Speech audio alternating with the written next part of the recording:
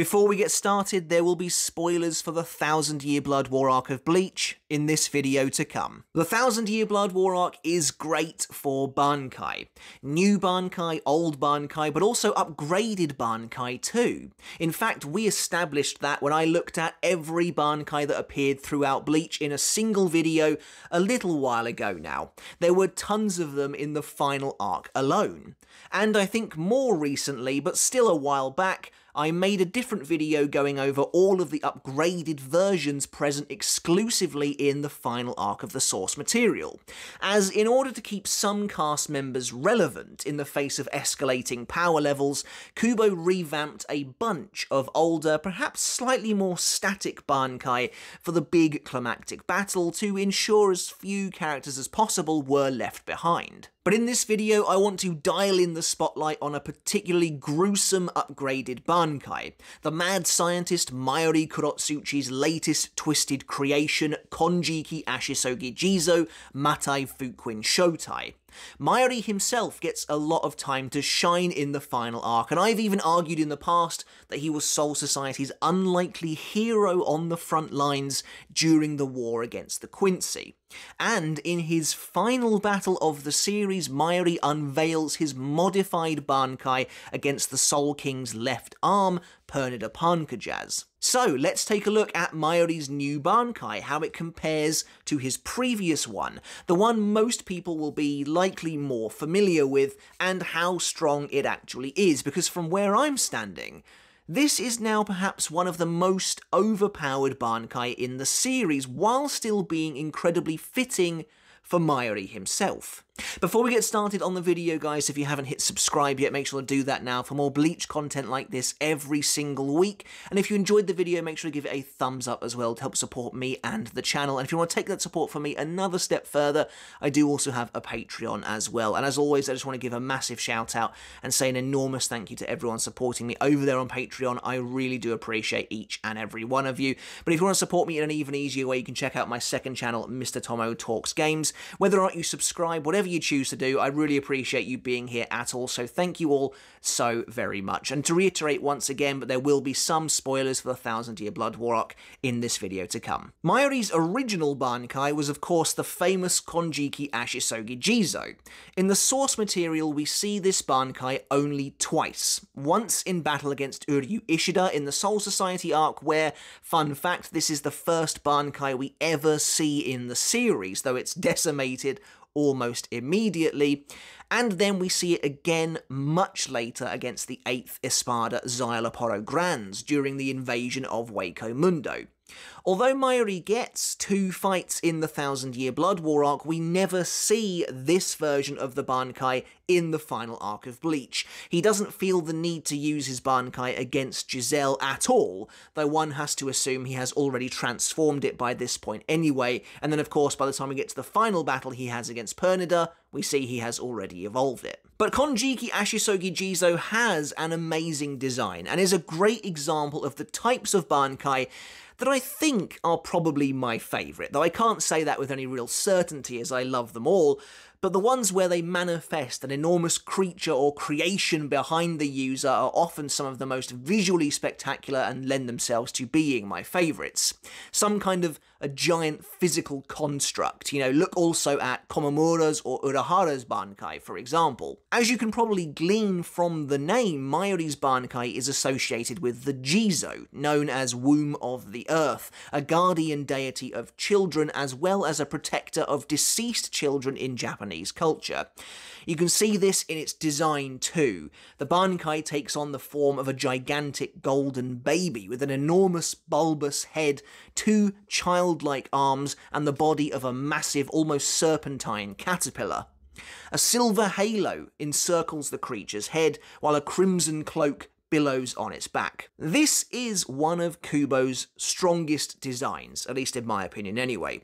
The halo seems to hark back to the divine nature of the Jizo itself, and while Konjiki Ashisogi Jizo is a clear reference to the nature of the Jizo, fittingly for Mayuri it seems to be a bastardization of it. This Jizo is no protector. Instead, it is designed for killing, while the caterpillar is a symbol of growth, change, and evolution. Again, perfect for the scientist always striving for improvement, and perfect for how Mayuri would eventually continue to alter and amend even the Bankai itself. And of course, the Jizo symbolism and the association with life and death only further increases when you learn how Mayuri actually achieved Bankai in the first place, and how it ties intimately into the history of the birth of his own daughter, Nemu. Mayuri and the 12th Division tried over and over again to create a self-sustaining Konpaku, to create life itself essentially that would grow and develop on its own like a natural-born child. Their fifth attempt at birthing a Konpaku yielded an actual fetus, and Mayuri took that fetus and modified his Zanpakuto with it, enabling it to achieve Bankai. So presumably the form of the baby we actually see in Bankai is moulded from that original fetus that Mayuri used, which of course is disturbing to consider, but again, very in line with his monstrous and immoral character. But on a more conceptual level, the failed results of their experiments feel like a reference to those that are protected and guided by the Jizo. But despite its grandiose appearance, Konjiki Ashisogi Jizo's abilities are fairly simplistic. Upon being summoned, it spews a quick-acting, deadly toxin from its mouth in the form of a purple gas cloud that covers an enormous radius, and then often uses its huge bulk to slam onto enemies before trying to devour them whole.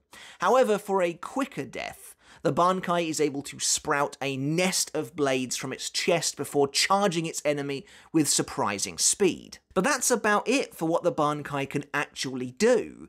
And so to deal with the higher caliber of enemy in the Thousand Year Blood War arc, Mayuri decides it's time for an upgrade. Fast forward to the end of the Thousand Year Blood War arc as the Shinigami assault Yhwach arc's final fortress of Wahrwelt. Mayuri comes up against the left arm of the Soul King and a living embodiment of progression and evolution itself, Sternritter C, the compulsory Pernida Pankajaz and, as is apt when facing an enemy that can continuously learn and transform almost endlessly, Mayuri reveals the newest tricks up his sleeve as well, activating Bankai. In a pretty cool moment, Yumichika thinks that Mayuri is about to summon the original Konjiki Ashisogi Jizo and tries to get the paralyzed Zaraki out of the poison's radius. I like this, you know, even the 11th Division understands how deadly Mayuri's Bankai is. Its reputation must precede it. Crucially, Mayuri comes to the realization that the left arm is able to continuously reproduce itself from its own torn off and destroyed appendages just before he activates Bankai. This enables him to factor in this key piece of information into his new ability. And what does that mean? Well, it's simple. In preparation for activating his newly altered Bankai, Mayuri collects data on his enemy throughout the course of the battle and sends it to his Zanpakuto in order to help it prepare. When the creature's arrival is finally due, Mayuri activates Bankai, bringing his sword in front of him, and an enormous fleshy purple mass bulging from the sword itself expands like a balloon up into the air in front of him. The transformation is over quickly, at least in how it appears within this chapter, revealing a completely new form, Konjiki Ashisogi Jizo Matai Fukuin Shotai. The original form of Mayuri's Bankai is seemingly gone entirely. In its place sits a squat, languid, obese, purple-skinned baby with a deformed head. The baby is draped in an opulent gold cloth, and from either side of its warped, almost sunken head, two lanterns dangle on outstretched branches, though it's possible they're coming not from the creature's head, but from what it's actually sitting on. The baby, which in some respects takes the form of almost a deformed version of the Buddha, is gigantic, dwarfing the captain in size, and sits slouched against what looks like a bed of foul, vein covered tentacles, or even possibly umbilical cords. Emblazoned upon its swollen stomach is the kanji for the word conceal, with the individual letters written on either side of a huge vertical incision.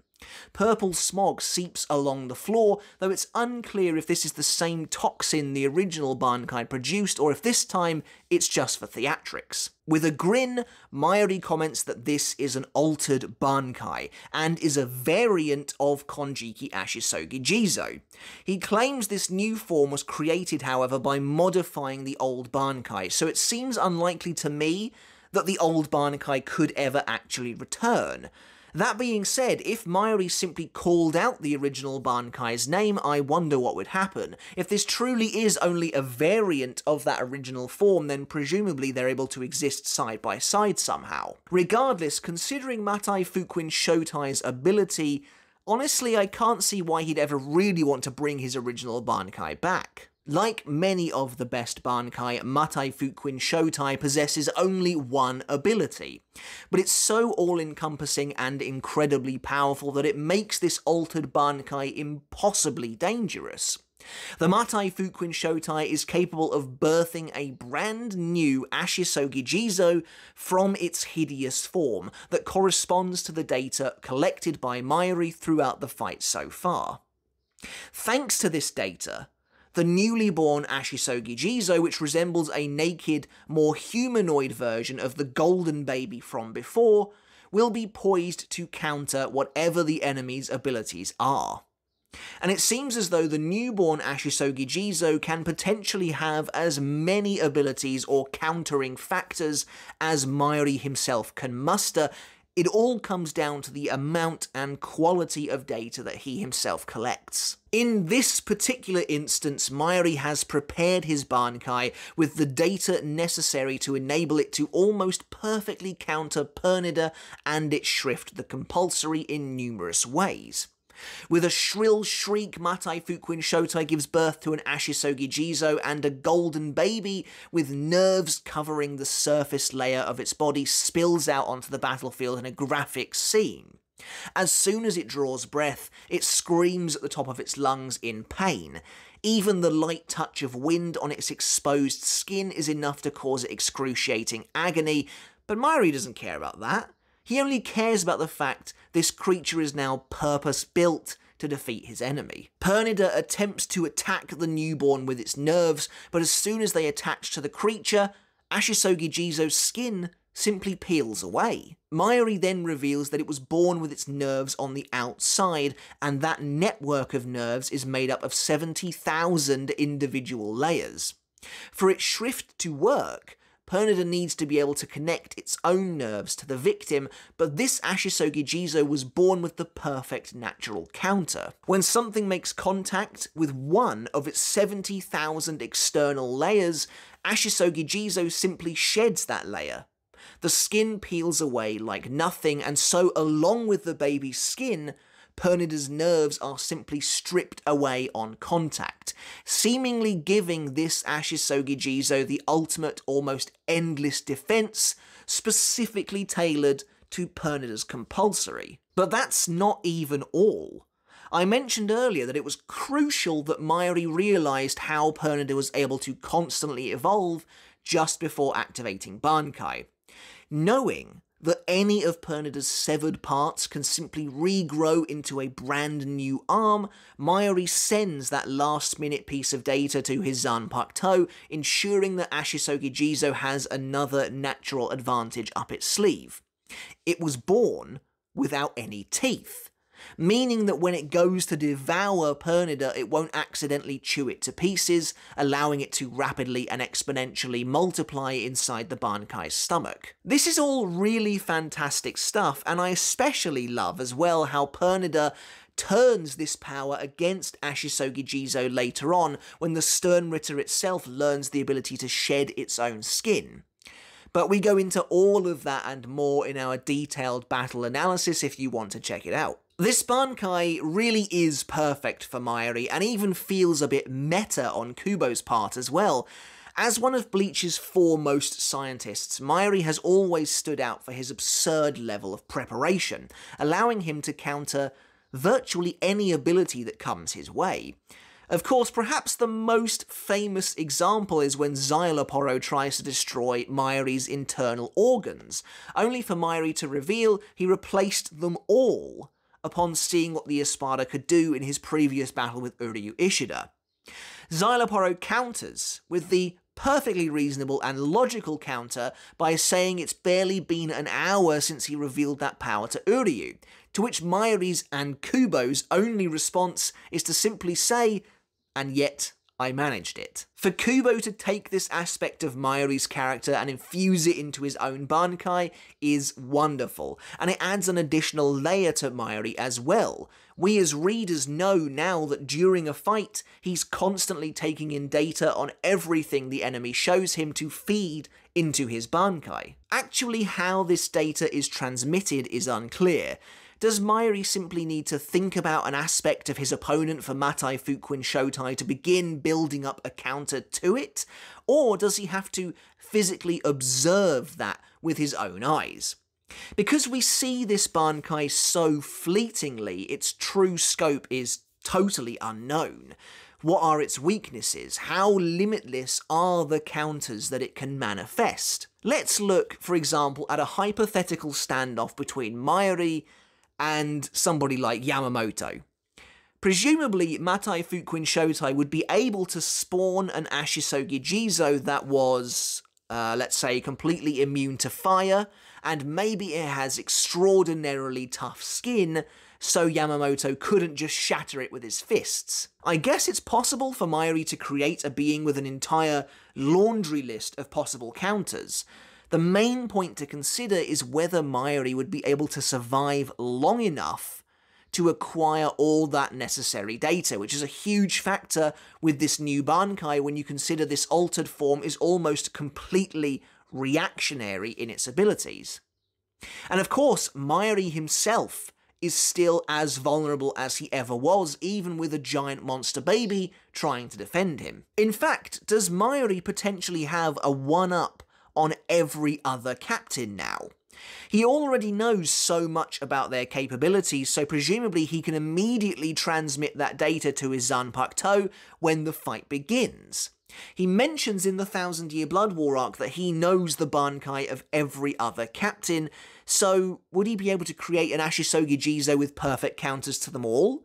It feels like an amazing new avenue for Mayuri to potentially blackmail other captains, being like, you know, I know your Bankai's weaknesses, and my Bankai can create something that can perfectly counter them, so, you know, you best back off. What's interesting as well is presumably Mayuri only gets one chance with this Bankai, unless I suppose he summons it again.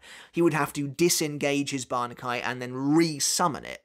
If an enemy reveals a brand new ability after an Ashisogi Jizo is born, it seems likely Mayuri and his Bankai wouldn't be able to do anything about it, about an ability that they weren't able to see beforehand, and therefore create a counter for, unless the Matai Fukuin Shotai can continuously give birth to new and improved babies as the fight progresses. But of course, thematically, this new Bankai works well for Mayuri too, outside of just being a meta commentary on his preparedness. This idea of his Bankai continuously creating new life and I guess going through some form of trial and error, especially if Mayuri has to re-engage his Bankai to counter a new ability that's only revealed to him later on in the fight, it's analogous to Mayuri's own desire and trials and tasks to create a self-sustaining Konpaku from nothing that he himself went through. In that sense, his Zanpakuto now even more closely resembles his own soul. But that's pretty much it for Mayuri Kurotsuchi's new and improved, quite literally, Bankai.